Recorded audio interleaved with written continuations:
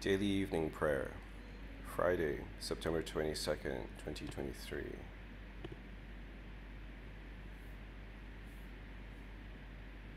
If we say we have no sin, we, we deceive ourselves and the truth is not in us.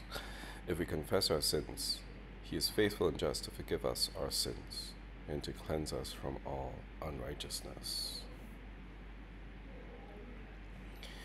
Dearly beloved, the scriptures teach us to acknowledge our many sins and offenses, not concealing them from our Heavenly Father, but confessing them with humble and obedient hearts, that we may obtain forgiveness by His infinite goodness and mercy.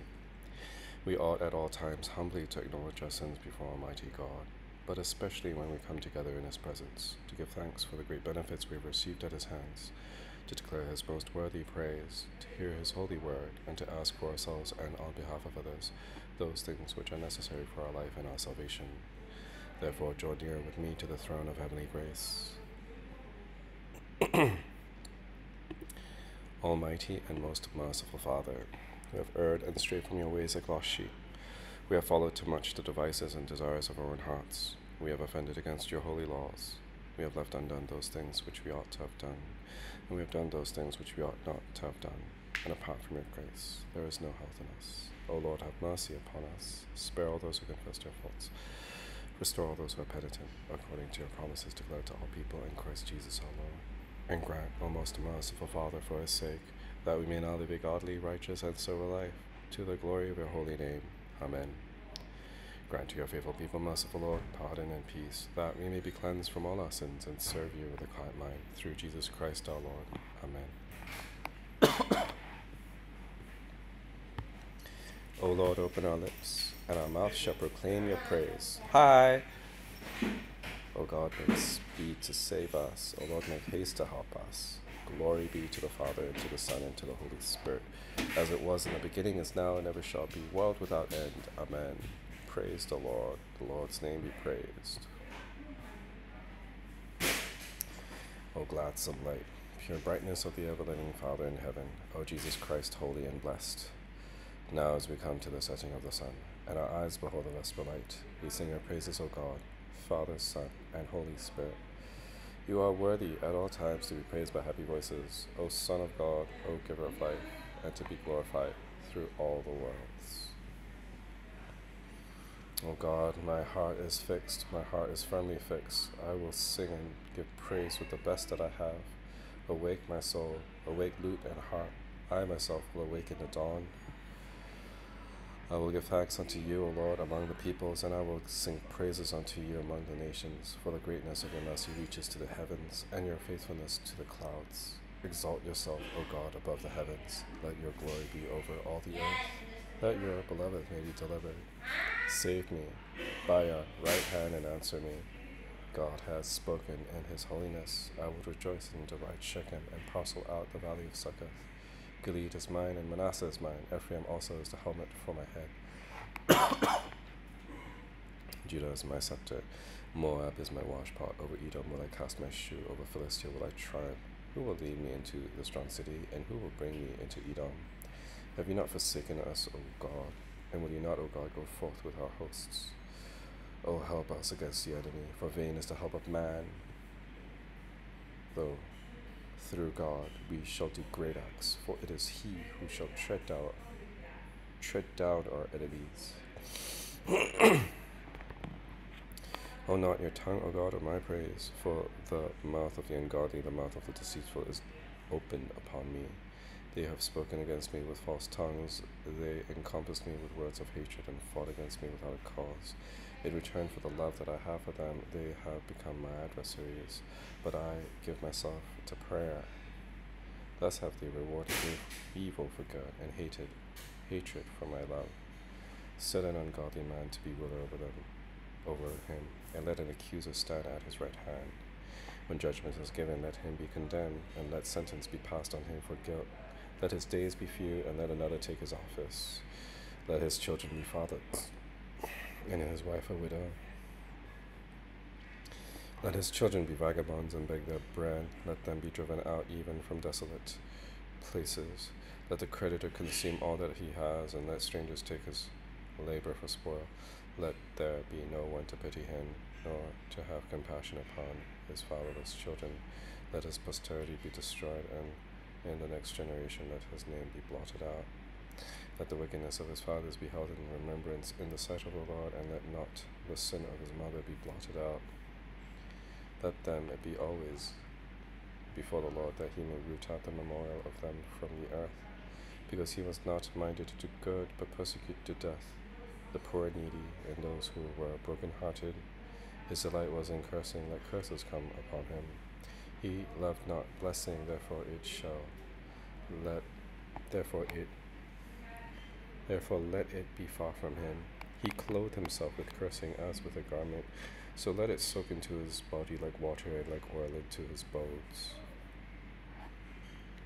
Let it be to him as a cloak that he has on, and as the belt that he always wears. Let this be the recompense from the Lord to my enemies and to those who speak evil against my soul.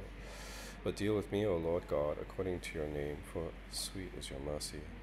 O deliver me, for I am helpless and poor, and my heart is wounded within me. I disappear like the shadow that lengthens, and I'm shaken off like a grasshopper. My knees are weak through fasting my flesh is grown lean for want of nourishment. I become a reproach to them. When they look on me, they shake their heads. Help me, O Lord my God, save me according to your mercy, and they shall know that it is your hand. And they shall know that this is your hand, and that you, O Lord, have done it. Though they curse, yet you bless. Let them be confounded who rise up against me, but let your servant rejoice. Let my adversaries be clothed with shame, and let them cover themselves with their own disgrace as with a cloak.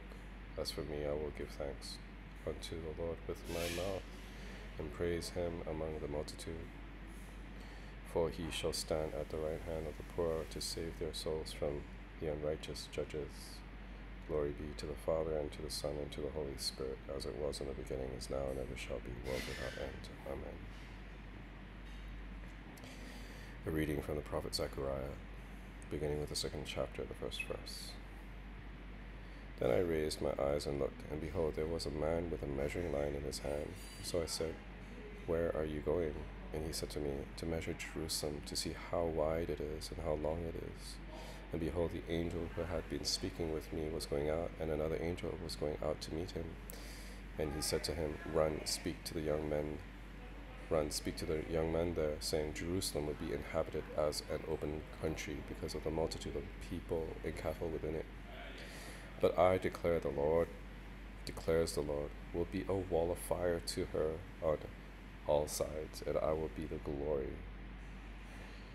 I will be the glory in her midst.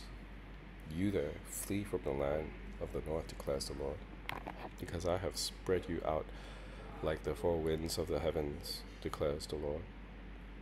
You, Zion, escape, you who are living with the daughter of Babylon. For the Lord of armies says this After glory, he has sent me against the nations that plunder you, for the one who touches you touches the apple of his eye. For behold, I am going to wave my hand over them so that they will be plunder for their slaves. Then you will know that the Lord of armies has sent me. Shout for joy and rejoice, daughter of Zion, for behold, I am coming, and I will dwell in your midst, declares the Lord. And many nations will join themselves to the Lord on that day and will become my people. Then I will dwell in your midst, and you will know that the Lord of armies has sent me to you. And the Lord will possess Judah and his portion in the Holy Land, and will again choose Jerusalem be silent, all mankind, before the Lord, for he has roused himself from his holy dwelling. This is the word of the Lord. Thanks be to God. Glory to you, Lord God of our fathers. You are worthy of praise. Glory to you. Glory to you for the radiance of your holy day. We will praise you and highly exalt you forever. Glory to you in the splendor of your temple, on the throne of your majesty. Glory to you. Glory to you, seated between the cherubim. We will praise you and highly exalt you forever. Glory to you, beholding the depths. In the high vault of heaven, glory to you. Glory to you, Father, Son, and Holy Spirit. We will praise you and highly exalt you forever. A reading from the Gospel of our Lord Jesus Christ according to St. Matthew, beginning with the 16th chapter, the 13th verse. Now, when Jesus came into the region of Caesarea Philippi, he was asking his disciples, Who do people say that the Son of Man is? And they said, Some say John the Baptist, and others Elijah, and still others Jeremiah or one of the prophets. He said to them, But who do you yourselves say that I am? Simon Peter answered, You are the Christ, the Son of the living God. And Jesus said to him, Blessed are you, Simon Bar Jonah, because flesh and blood did not reveal this to you, but my Father who is in heaven. And I also say to you that you are Peter, and upon this rock I will build my church, and the gates of Hades will not overpower it.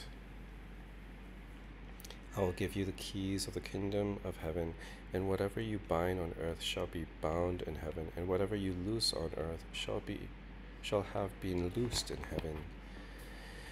Then he gave the disciples strict orders that they were to tell no one that he was the Christ.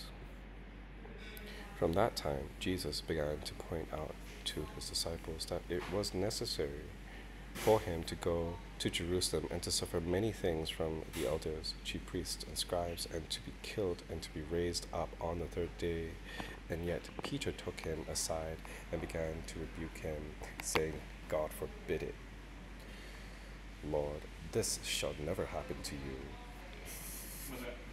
Uh, the daily office, my uh, recording, my it's what I post on social media. It's a thing that started off the daily office at church. So I was just yeah. Anyways, so you're posting this? yes I am. I have another fifteen minutes to go. This is your personal and this is your the company. Uh, I take whatever the company has. Nobody was using that, so I can use that for demos, and I can use that to back up stuff. He, verse 23, but he turned and said to Peter, Get behind me, Satan. You are a stumbling block to me, for you are not setting your mind on God's purpose, but men's. And Jesus said to his disciples, If anyone wants to come after me, he must deny himself, take up his cross, and follow me. For whoever wants to save his life will lose it, but whoever loses his life for my sake will find it. For what good will it do a person if he gains the whole world but forfeits his soul? Or what will a person give in exchange for his soul? For the Son of Man is going to come in the glory of his Father with his angels and will then repay every person according to his deeds. Truly, I say to you, there are some of those who are standing here who will not taste death until they see the Son of Man coming in his kingdom. This is the word of the Lord. Thanks be to God. Lord, now let yourself depart in peace according to your word. For my eyes have seen your salvation, which you have prepared before the face of all people, to be a light to lighten the Gentiles, and to be the glory of your people Israel. Glory be to the Father, and to the Son, and to the Holy Spirit, as it was in the beginning, is now, and ever shall be, world without end. Amen. I believe in God, the Father Almighty, creator of heaven and earth. I believe in Jesus Christ, his only Son, our Lord, who was conceived by the Holy Spirit and born of the Virgin Mary. He suffered under Pontius Pilate, was crucified, died, and was buried. He descended to the dead. On the third day he rose again. He ascended into heaven and is seated at the right hand of the Father. He will come again to judge the living and the dead. I believe in the Holy Spirit, the Holy Catholic Church, the communion of saints, the forgiveness of sins, the resurrection of the body, and the life everlasting. Amen. Lord be with you and with your spirit. Let us pray. Lord, have mercy upon us. Christ, have mercy upon us. Lord, have mercy upon us. Our Father, who art in heaven, hallowed be thy name. Thy kingdom come, thy will be done on earth as it is in heaven. Give us this day our daily bread, and forgive us our trespasses as we forgive those who trespass against us. And lead us not into temptation, but deliver us from evil. For thine is the kingdom, and the power, and the glory forever and ever. Amen. That this evening may be holy, good, and peaceful, we entreat you, O Lord. That your holy angels may lead us in paths of peace and goodwill, we entreat you, O Lord. That we may be pardoned and forgiven for our sins and offences, we entreat you, O Lord. That there may be peace in your church and in the whole world, we entreat you, O Lord. that we may depart this life in your faith and fear and not be condemned before the great judgment seat of Christ, we entreat you, O Lord. Almighty God, the giver of all good gifts, in your divine providence you have appointed various orders in your church. Give your grace, we humbly pray, to all who are called to any office and ministry for your people, and so fill them with the truth of your doctrine and clothe them with holiness of life, that they may faithfully serve before you to the glory of your great name, for the benefit of your holy church, through Jesus Christ our Lord, who lives and reigns with you in the unity of the Holy Spirit, one God, now and forever. Amen. O God, because without you we are not able to please you, mercifully grant that your Holy Spirit may in all things direct and rule our hearts through Jesus Christ our Lord, who lives and reigns with you and the Holy Spirit, one God, now and forever. Amen. Lord Jesus Christ, by your death you took away the sting of death. Grant to us, your servants, so to follow in faith where you have led the way, that we may at length fall asleep peacefully in you and wake up in your likeness, for your tender mercy's sake. Amen. Keep watch, dear Lord, with those who work or watch or work this, or weep this night, and give your angels charge over those who sleep. Tend the sick, Lord Christ, give rest to the weary, bless the dying, soothe the suffering, pity the afflicted, shield the joyous, and all for your love's sake. Amen. o God the Father, creator of heaven and earth, have mercy upon us. O God the Son, redeemer of the world, have mercy upon us. O God the Holy Spirit, sanctifier of the faithful, have mercy upon us. O holy, blessed, and glorious Trinity, one God, have mercy upon us. Remember not, Lord Jesus, our offences, nor the offences of our forebears, neither reward us according to our sins. Spare us, good Lord, spare your people, whom you have redeemed with your most precious blood, and by your mercy preserve us forever. Spare us, good Lord, from all evil and wickedness, from sin, from the works and assaults of the devil, from your wrath and everlasting condemnation. Good Lord, deliver us from all blindness of heart, from pride, vanity, and hypocrisy, from envy, hatred, and malice, and from all lack of charity. Good Lord, deliver us from all disordered and sinful affections, and from all the deceits of the world, the flesh, and the devil. Good Lord, deliver us from all false doctrine, heresy, and schism, for hardness of heart and contempt of your word and commandments. Good Lord, deliver us. From lightning and tempest, from earthquake, fire, and flood, from plague, pestilence, and famine. Good Lord, deliver us. From all oppression, conspiracy, and rebellion.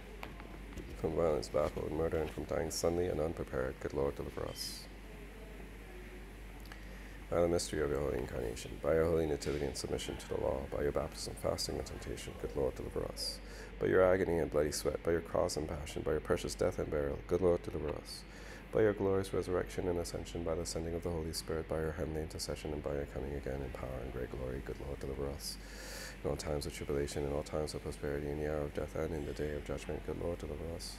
We sinners beseech you to hear us, O Lord God, that it may please you to rule in holy and govern your holy church universal in the right way. We beseech you to hear us, good Lord, to limit all bishops, priests, and deacons with true knowledge and understanding of your word, and that both by their preaching and living they may show it accordingly. We beseech you to hear us, good Lord, to send forth laborers into your into your harvest, to prosper their work by your Holy Spirit, to make your saving health known unto all nations, and to hasten the coming of your kingdom. We beseech you to hear us, good Lord, to give all your people increase of grace to hear your word with humility, to receive it with pure affection, and to bring forth the fruit of the Spirit. We beseech you to hear us, good Lord. To bring into the way of truth all who have erred and are deceived, we beseech you to hear us, good Lord. To give us heart to love and fear you, and diligently to keep your commandments, we beseech you to hear us, good Lord. To bless and keep all your people, we beseech you to hear us, good Lord, that it may please you to rule the hearts of your servant, our national leaders, and all others in authority, that they may do justice and show mercy and walk humbly before you. We beseech you to hear us, good Lord.